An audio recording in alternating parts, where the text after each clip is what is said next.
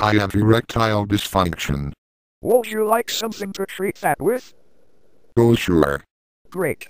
All I need is your social security number, credit card information, date of birth, and a sperm sample. No. No. I cannot do that. Why not?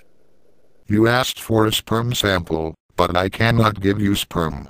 I have erectile dysfunction. I did not say that it had to be your sperm. Oh, okay. But I don't have a credit card. For the love of God, just give me any personal information you have, regardless if it's yours or not. I do not have any. Fuck it. I give up. I wonder why he wanted so much personal information.